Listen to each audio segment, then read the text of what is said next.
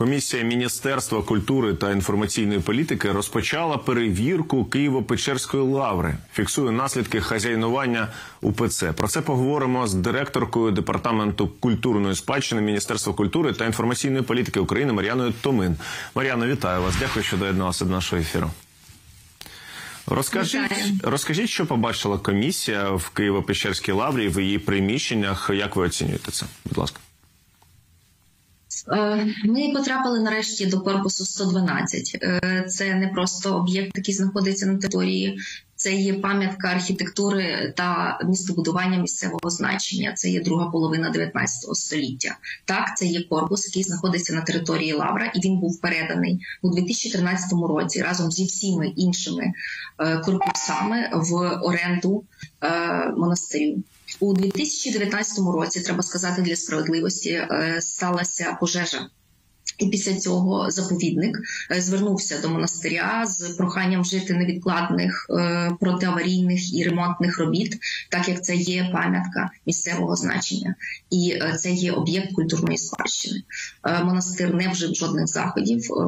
Все те, що ви бачите на кадрах, ми ще оприлюднимо повну відеофіксацію повного ну повного технічного стану приміщення для того, щоб була можливість е, подивитися не тільки на фото фіксацію, а те, як це виглядає в принципі і повністю. Ну, на даний момент ми передали всі ці матеріали е, до правоохоронних органів. Справа в тому, що е, стаття е, 298, частина 2 кримінального кодексу передбачає кримінальну відповідальність за руйнацію об'єктів культурної спадщини. Тут є всі ознаки цього злочину. Тому ми на даний момент е, зосередилися на документуванні е, саме цього жахливого технічного аварійного стану пам'ятки архітектури е, місцевого значення і е, співпрацюємо з правоохоронцями для того, щоб е, притягнути винних до відповідальності. Проте це не єдині факти, які вже розслідує. е, Печерський Печерське управління поліції. Е, Я нагадаю, що е, є е, заяви е, заповідника е, про е, за ознаками злочину, передбаченого статтею е, 179 і е, 191 Кримінального кодексу України. 179 – це є незаконне утримування релігійних святинь, а 191 стаття це є привласнення майна. Тобто е, я хочу нагадати, що діяльність е, нашої комісії з приймання передачі майна це є абсолютно технічна юридична діяльність, але е, те, як е, почався процес, як він триває, е, схоже на те, що з цивільно-правового поля і господарського е, ці акценти зміщуються вже у площину як сфера відповідальності і розслідування будуть вже передані правоохоронним органам. На жаль, це поки так.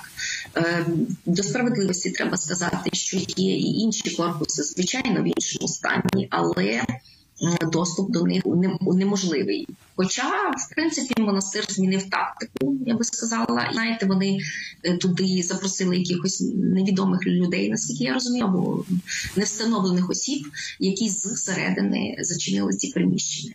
Тобто, це як Крим, знаєте, їх там нема, але потрапити туди неможливо. От якраз ми подивилися світлини цього приміщення. Туди складно було вашій комісії потрапити. Розкажіть цю історію. Чи чинили опір при цьому? Не зорієнтувалися. Ми ламали двері, падав дощ. Ми туди потрапили. Нічого собі.